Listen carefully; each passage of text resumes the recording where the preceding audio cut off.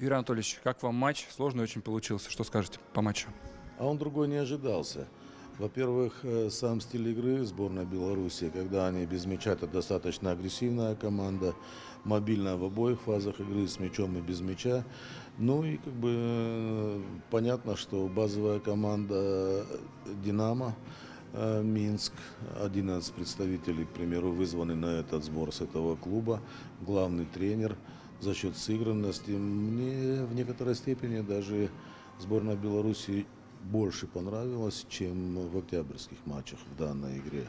Нам было сложно. Мы первый тайм э, как бы адаптировались к тем скоростям, которые предложил соперник, к полю, к освещению, ко всему. Второй тайм уже был более качественный в нашем исполнении.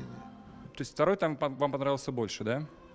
Ну, я думаю, он, э, те, кто смотрел игру, да, он был посодержательней. А, ошибки, если бы мы убрали невынужденные, был бы еще интереснее.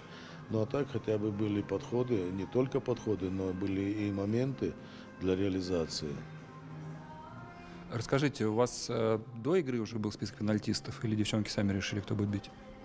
Я думаю, не стоит об этом говорить. Э, Здесь просто, да, у нас три человека отмечены. Петрова в этот список входила. А Петрову заменили, э, у другого э, футболистки икры свели. Ну, Алсу проявила характер, хотела это сделать. Ничего, мы вместе с ней этот пенальти не забили. Много моментов было во втором тайме, но подвела реализация. Как вот с этим бороться можно? Да я не скажу, что их было много, их они были, но они все такие, вот прям не скажу, что явные, за исключением пенальти.